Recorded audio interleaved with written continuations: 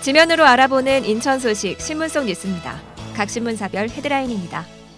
먼저 중부일보는 인천시 전체 자금을 관리하는 금고들이 671억 원대의 협력 사업비를 시에 출연했으나 자금 사용 내역이 불투명한 것으로 드러났다고 보도했습니다. 이 소식 잠시 후에 자세히 알아봅니다. 기호일보는 인천시가 개인형 자율항공기 등 미래 신성장 동력을 육성하기 위한 제도적 장치를 갖추고 글로벌 도심 항공교통 거점 도시로의 첫 발을 뗐다고 전했습니다. 경인일보는 인천시가 GTX D 사업의 자체 노선을 최종 확정해 제4차 국가철도망 구축 계획에 반영해 줄 것을 다음 달 국토교통부에 공식 건의하기로 했다고 보도했습니다. 인천일보는 인천과 수원을 잇는 수인선이 완전 개통했지만 노선 허리를 오가는 급행열차가 없다는 지적이 나오고 있다고 전했는데요. 이 소식도 잠시 후에 자세히 알아봅니다. 그럼 중부일보 기사 자세히 보겠습니다. 연간 10조 원이 넘는 인천시 전체 자금을 관리하는 1, 2금고들이 금고 선정 이후 671억 원대의 협력 사업비를 출연했으나 자금의 사용 내역이 불투명한 것으로 드러났다고 보도했는데요.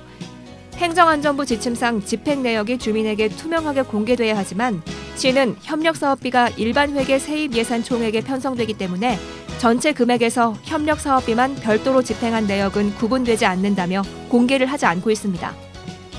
시 관계자는 예산 집행 투명성 문제로 협력 사업비를 일반 회계로 편성하라는 정부 지침을 따랐다며 협력 사업비가 포함된 예산은 전부 의회로부터 심의를 받아 집행했다고 말했다고 신문은 전했습니다.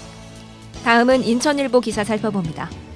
지난 12일 인천과 수원을 잇는 수인선이 완전 개통했지만 52.8km 전 구간을 오가는 급행 열차가 없고 구간별 급행도 완전히 도입되지 않아 동력이 떨어질 수 있다는 우려가 나오고 있다고 보도했습니다.